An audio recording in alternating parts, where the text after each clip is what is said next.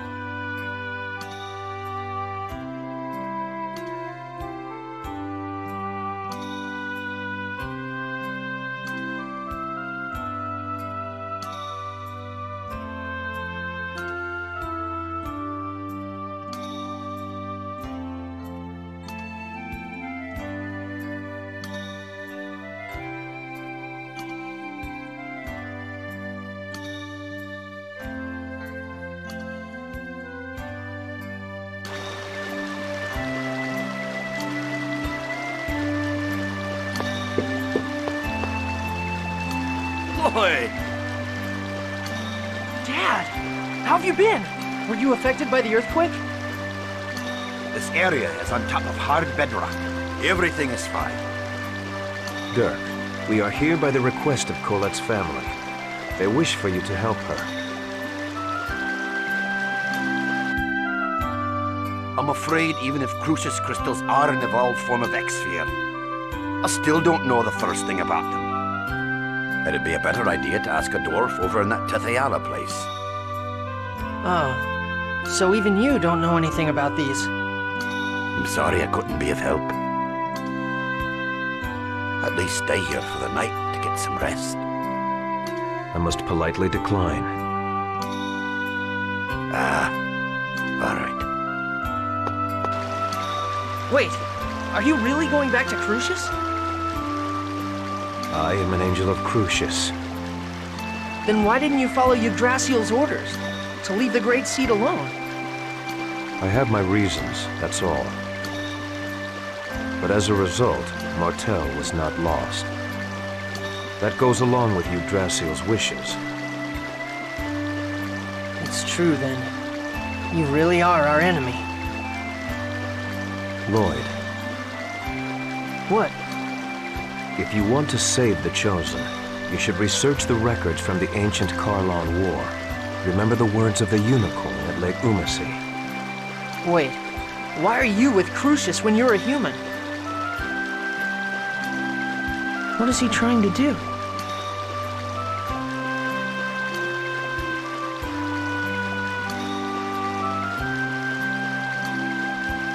Hey, wasn't that Kratos just now? Sheena! Yeah. He returned to Cruxis. I see. So he really is our enemy. Yeah. But anyway, welcome back. Thanks. Thank goodness we stopped the giant tree. Yeah.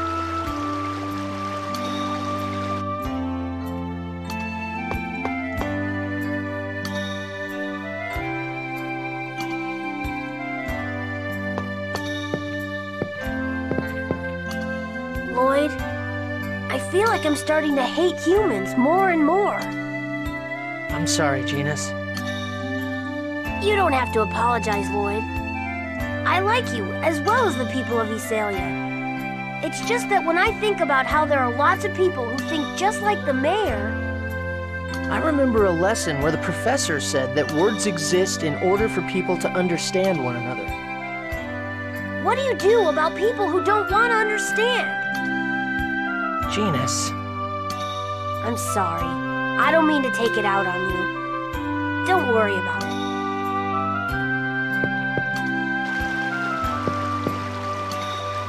Lloyd, I'm sorry. I'm being a burden to you again, aren't I? What are you talking about? You're the one that's suffering. Stop apologizing.